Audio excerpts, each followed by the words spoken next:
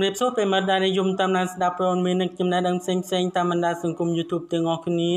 តែនេះខ្ញុំបាទសូមជូនព័ត៌មានថ្មីមួយក្រោមចំណងជើងថាអ្នកនាងច័ន្ទកែវនិមលរំជួលចិត្តខ្លាំងក្រោយពេលបានឃើញវីដេអូអបសគុណកញ្ញា បាទយំរៀបរាប់អំពីជីវិតបែកបាក់គ្រួសារចុងក្រោយក៏បានបង្ហោះសារមួយឃ្លានឹងមានអត្ថន័យថាបងប្អូនជាទីគោរពរាប់អាន បាទតាំងពីថ្ងៃទី22មកម្លេះបាទដែលឪពុករបស់អ្នកនាងអបសគុណកញ្ញា បានបង្ហោះសារនៅលើបណ្ដាញទំនាក់ទំនងសង្គមផ្ទាល់ខ្លួនថា បាទអ្នកនាងអបសគុណកញ្ញាជាកូននមិនស្គាល់ឪពុកបើពាក់ព័ន្ធជាមួយនឹងបញ្ហានេះផងដែរអ្នកសារព័ត៌មានធ្លាប់បាទជីកសួរបាទបញ្ហាអ្នកនាងអបសគុណកញ្ញាដែរតែអ្នកនាងធ្លាប់បានឆ្លើយថាបាទអ្នកនាងមិនទាន់បានដឹងរឿងនេះទេប៉ុន្តែបើសិនជារឿងនេះកើតអញ្ចឹងមែនឲ្យទៅសួរឪពុករបស់នាងវិញពាក់ព័ន្ធជាមួយនឹងបញ្ហានេះនៅក្នុងឆាកតន្ត្រីកាលពីឆ្នាំ2018កន្លងទៅបាទអ្នកនាងអបសុគន្ធកញ្ញាបានអះអាងថាខ្លួនកំព្រាឪពុកតាំងពីតូចដោយសារតែឪពុករបស់នាងនឹងបានបែកបាក់គ្រួសារហើយទៅមាន បាទអ្នកថ្មីនោះបាទដូច្នេះកុំឲ្យប្រិយមិត្តរបស់យើងរងចាំយូរសូមមេត្តាជួយ Subscribe និង Like ប្រិយមិត្តប្រកាសជាជ្រាបច្បាស់រួចទៅហើយនៅរឿងរ៉ាវដ៏កក្រើកនៅក្នុងបណ្ដាញទំនាក់ទំនងសង្គម Facebook ម្សិលមិញយ៉ាងណាមិញយើងងាកមកចាប់អារម្មណ៍វីដេអូឃ្លីបខ្លីមួយ ដែលជាវីដេអូចាស់បង្ហាញអំពីសកម្មភាពរបស់អ្នកនាងអបសុគន្ធកញ្ញា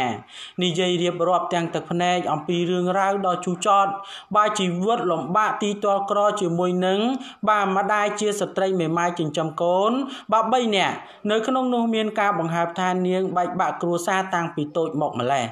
ហើយបែកបាក់គ្រួសារនេះដោយសារតែឪពុកបាទទៅមានអ្នកថ្មី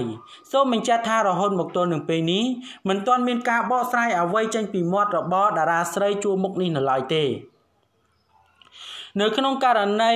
បាទ ដែលមានបញ្ហានាពេលកន្លងមកនេះនៅក្នុងផលិតកម្មរស្មីហងមាសនេះវិញបាទយើងមិនទាន់ដឹងករណីថានាងនឹងមិនទទួលស្គាល់ឪពុកបាទបង្កើតហើយតាមវីដេអូឃ្លីបមួយនេះបាទជាការពិតឬក៏អត់ក៏អាចឲ្យទស្សនិកជនដឹងអំពីអារម្មណ៍របស់នាងខ្លះខ្លះបាទផងដែរចំពោះបញ្ហាដែលកើតមកនៅពេលកន្លងទៅ ចំណែកឯ Facebook អ្នកនាងកៅច័ន្ទនិមលវិញក៏បានបង្ហោះសារមួយនឹងមានអត្ថន័យថា មនុស្សរឹងមាំបាទរបស់បងអោកសុគន្ធកញ្ញាបើមិនត្អូញត្អែមិនរអ៊ូមិនទៀមទាគេអាណិតប្រឹងជំនះគ្រប់រឿងរ៉ាវនិងឧបសគ្គនៅក្នុងជីវិតបើទាំងនេះហើយគឺជាគាត់ប្រិយមិត្តរបស់យើងប្រកាសជាបានជ្រាបជ្រាបហើយបាទពាក់ព័ន្ធជាមួយនឹងអ្នកនាងអបសុគន្ធកញ្ញាដែលជាតារាចម្រៀងល្បីជួរមុខបាទរបស់ផលិតកម្មរស្មីហងមាសនាពេលកន្លងទៅ